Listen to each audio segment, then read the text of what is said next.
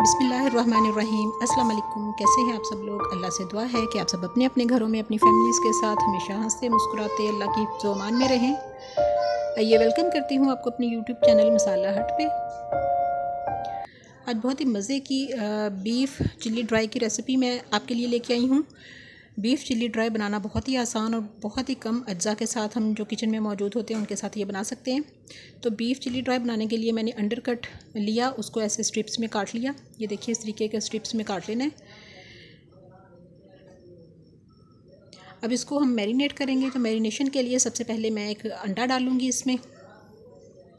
ये हाफ़ के जी लिया है मैंने बीफ।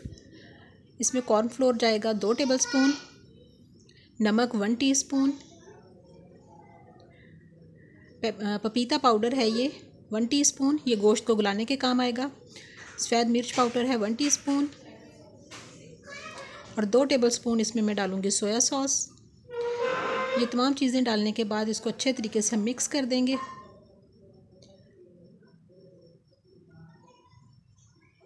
अच्छे तरीके से मिक्स करने के बाद इसको तकरीबन एक घंटे के लिए मैं मैरिनेशन के लिए रख दूँगी फ्रिज में, ताकि इसको थोड़ा सा मैरिनेशन का टाइम मिल जाए अच्छा सा। अब एक कढ़ाई में मैंने इतना ऑयल डाला है कि इन स्ट्रिप्स को हमने डीप फ्राई करना है। ऑयल को अच्छा सा गर्म करने के बाद मैंने बीफ को इसमें डाल दिया। आँच मैंने मीडियम टू लो रखी हुई है। तेज़ आँच पे इसको बिल्कुल नहीं पकाना, वरना बीफ अंदर से कच्चा रहेगा और ऊपर से जल जाएगा। बिल्कुल लो फ्लेम पे मैंने इसको पकाया है तकरीबन दस मिनट। ये देखिए ऊपर कितना खूबसूरत सा कलर आया है और ये जो स्ट्रिप्स हैं बीफ के हमारी, ये बहुत अच्छे से अंदर तक गल गई हैं। इसमें कोई डाउट नहीं रहेगा कि बीफ हमारा कच्चा है या गला नहीं है, क्योंकि इसमें हमने पपीते का पाउडर भी डाला है और लो फ्लेम पे बिल्कुल इसको 10 से 15 मिनट हमने टाइम दिया है पकने के लिए। तो इसी तरीके से तमाम स्ट्रिप्स मैं फ्राई करके रख लूँगी। ये देखिए। इस तरीके से तमाम जो हमारी बीफ की स्ट्रिप्स ही मैरिनेट करके रखी हुई हमने, वो मैंने फ्राई कर ली हैं। अब इनको रखूँगी साइड पे। अब कढ़ाई में मैंने दो टेबल स्पून ऑयल डाला है। बहुत ज़्यादा ऑयल अब इसमें नहीं डालना हमने। और एक टेबल स्पून कुटा हुआ लहसुन। इसमें मैं फ़्रेश कुटा हुआ लहसुन डाल रही हूँ। आप चाहें तो पेस्ट भी इस्तेमाल कर सकते हैं, लेकिन फ़्रेश लहसुन का फ्लेवर जो है वो बहुत ही अच्छा सा होता है। अब इसमें डालूँगी मैं tobacco sauce one tablespoon ये बहुत आसानी से सुपर मार्केट से मिल जाती है, किसी भी शॉप से। हॉट सॉस डालूँगी इसमें one tablespoon soya sauce भी इसमें जाएगा वन टेबल स्पून इसमें सॉसेस का इस्तेमाल ज़रा ज़्यादा होता है। ओस्टर सॉस जाएगी वन टीस्पून। ये कम मकदार में जाएगी। ये तमाम सॉसेस जो हैं वो आसानी से हमें किसी भी आ, सुपर स्टोर से मिल जाती हैं। अब इसमें मैं डालूँगी फ्राई किया हुआ बीफ। अब इसमें जाएगा काली मिर्च का powder one fourth teaspoon और सफ़ेद मिर्च का पाउडर हाफ़ टी स्पून मिर्चों की जो क्वांटिटी है, वो आप अपने टेस्ट के अकॉर्डिंग रख सकते हैं, ज़्यादा भी रख सकते हैं, लेकिन ये मैं नॉर्मल सा टेस्ट होगा इसमें।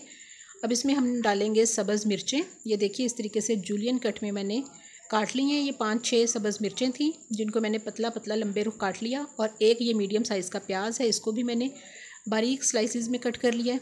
अब ये डाल देंगे इसमें, और ये जूलियन कट ही मैंने अदरक लिया है, एक इंच का टुकड़ा लिया था, उसको बारीक बारीक जूलियन शेप में मैंने कट कर लिया। ये तमाम चीज़ें डालने के बाद इसको हमने सिर्फ़ एक मिनट तक मीडियम आँच पे फ्राई करना है ताकि ये जो हमने प्याज, सब्ज़ मिर्चें और अदरक डाला है उनका फ्लेवर अच्छा सा जो बीफ में शामिल हो जाए। इसको मीडियम आँच पे करना है हमने, लो आँच पे नहीं करना। बहुत ही मज़े की ये चाइनीज़ डिश है जो कि पाकिस्तानी टच के साथ बनाई है मैंने। इसमें पाकिस्तानी जायका भी होगा और स्टाइल चाइनीज़। अब इसमें मैं डालूँगी टोमेटो केचप। आप चाहें तो इस पॉइंट पे आके एक टेबल स्पून चीनी भी डाल सकते हैं और चाहें तो केचप। ये आपकी अपनी चॉइस है। मैंने यहाँ केचप का इस्तेमाल किया है। इससे बहुत ही अच्छा सा इसका खट्टा मीठा सा फ्लेवर आएगा।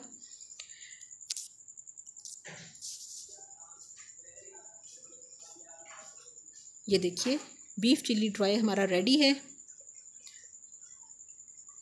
बहुत ही मज़े की ये चाइनीज़ डिश पाकिस्तानी टच के साथ तैयार है। इसको ज़रूर ट्राई कीजिए। इसके ऊपर मैं थोड़े से सफ़ेद तिल डाल दूँगी, मेरे पास पड़े थे। ये ऑप्शनल है टोटल अगर आप डालना चाहें, घर में मौजूद हों, आसानी से अवेलेबल हों तो डाल दीजिए, वरना इसके बगैर भी इसका जायका बहुत ही मज़े का है। गर्मा गर्म बॉयल चावल के साथ या फ्राइड राइस के साथ इसको सर्व कीजिए।